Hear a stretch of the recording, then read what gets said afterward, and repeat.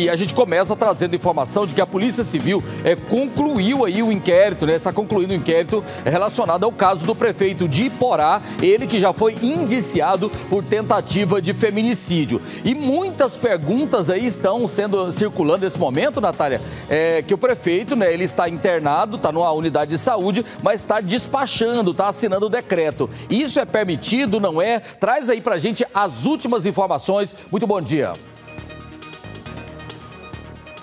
Oi, Loares, bom dia para você. A gente está aqui na Secretaria de Segurança Pública. Acabou agora há pouco uma coletiva de imprensa com os dois delegados responsáveis por esse caso, por esse indiciamento e tudo mais. Vou conversar com um dos delegados responsáveis, doutor Igor Dalmi, que está aqui comigo. Delegado, vamos falar então em relação a esse indiciamento, né? Agora ele passa a ser indiciado, o senhor estava me explicando aqui como é que fica a situação. Quais foram os crimes? O que, que consta nesse documento? Boa tarde. Boa tarde.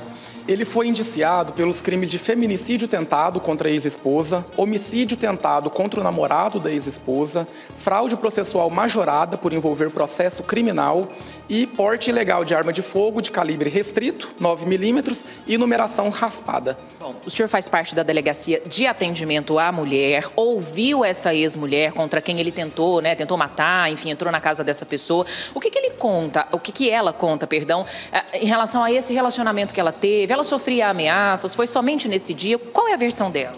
A versão da vítima é de que ela nunca havia sido ameaçada ou agredida fisicamente antes. Ela conta que no tempo, nos muitos anos de casamento, houve agressões verbais, mas nada físico, e que nos 60 dias de divórcio ele não havia enviado nenhuma ameaça, não havia tentado reatar o relacionamento. Foi apenas na semana dos fatos que ele começou a passar ali de frente ao portão e aí na sexta para sábado ele praticou esse crime. Em relação a essas imagens, que depois até mostra ali, né, o fato dele lá roubar aquele HD com as imagens, enfim, ela já tinha essas imagens, ela tinha conseguido guardar, isso também serve para a polícia? Com certeza, essas imagens já foram separadas pela polícia já constam no próprio processo judicial que foi remetido hoje, concluído para o Poder Judiciário.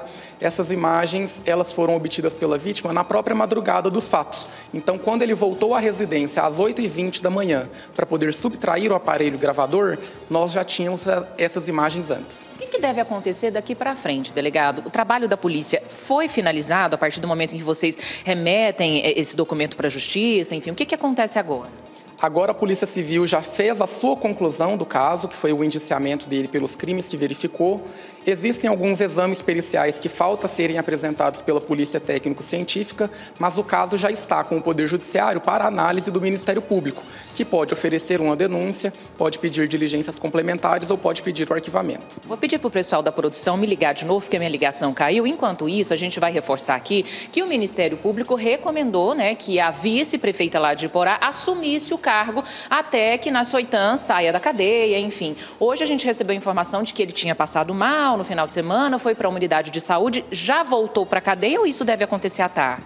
A última informação que eu obtive é que ele já voltou para o presídio de Porá. Eu sei que não é da, da, sua alçada, mas só uma informação, delegado. Estando numa unidade de saúde ou até mesmo na cadeia, ele consegue assinar decretos ali, assinar documentos, ainda exercer esse papel dele como prefeito? A última informação que eu obtive, mesmo não sendo da minha alçada, é de que sim, ele estava assinando documentos da prefeitura. E um advogado pode levar para ele, ele consegue fazer isso? Sim, e também ele estava a todo tempo com a escolta prisional. A informação é, é, justamente essa, viu, Oloares? Que ali de dentro do presídio, da cadeia, na verdade, ou até mesmo do hospital, se um advogado dele, claro, for até ele com algum documento, ele consegue assinar, afinal, ele ainda é prefeito, né? Pois é, então fica aí esse esclarecimento. Agora, a, diante da, da, da, situação, a mulher permanece com a medida protetiva. É, como, é que, como é que fica a situação dela a, daqui para frente, Natália? O Lara está perguntando em relação a essa vítima, ex-mulher, ela tem medida protetiva, continua com essa medida protetiva, qual é a situação dela? No mesmo sábado dos fatos, nós conseguimos medidas protetivas para ela e também o decreto de prisão preventiva, que aí é a medida cautelar mais extrema.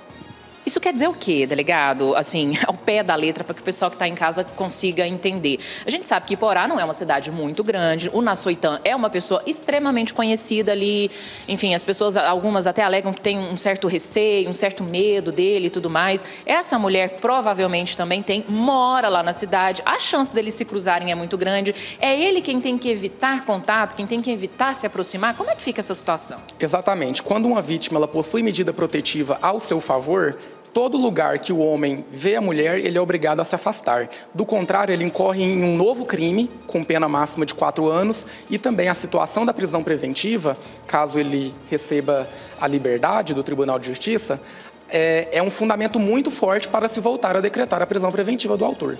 Excelente, obrigada, viu, delegado Loares? Obrigado, Natália. Obrigado, então, esse caso agora. Né, o Ministério Público, como a Natália falou, recomendou que a vice-prefeita assuma né, a administração da cidade, que está aí sem gestão. Na Soitã voltou, né, a previsão é que ele volte para o presídio. A defesa dele já entrou com o recurso tentando aí revogar essa prisão para que ele responda o processo em liberdade. E isso, é, enquanto a mídia estiver falando, com certeza não vai ser solto. Mas na hora que o assunto começar a esfriar, você pode ter certeza absoluta, né, como ele é poderoso, tem muito dinheiro, é muito influente, pode ter certeza que ele vai ser solto aí pela justiça. Obrigado, Natália. Afinal de contas, nós estamos no Brasil e aqui no estado de Goiás.